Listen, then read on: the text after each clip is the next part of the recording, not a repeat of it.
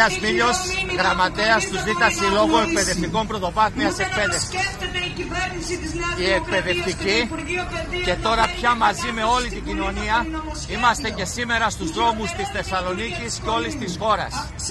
Σήμερα μαζί μας στη διαδήλωση, εκτός από τα εκπαιδευτικά σωματεία, συμμετέχει και η Ένωση Νοσοκομιακών Γιατρών Θεσσαλονίκης, το Σωματείο Καθαριστών και Καθαριστριών Σχολείων, συμμετέχει το Σωματείο Βιβλίου Χάρτου, ενώσεις γονέων και άλλοι πολίτες της πόλης μας.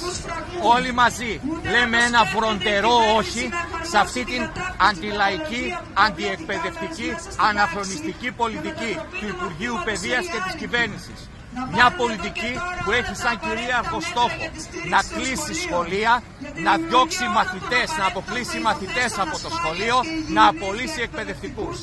Λέμε όχι στην πολιτική που φέρνει τις κάμερες, το Big Brother μέσα στα σχολεία μας για να μπορέσει στη συνέχεια να το περάσει σε όλη την κοινωνία, να αλλοιώσει κάθε δικαίωμα των εκπαιδευτικών, των μαθητών, όλης της κοινωνίας να, να μπορέσει να περάσει τις πιο μαύρες εργασιακές σχέσεις σε όλη την κοινωνία.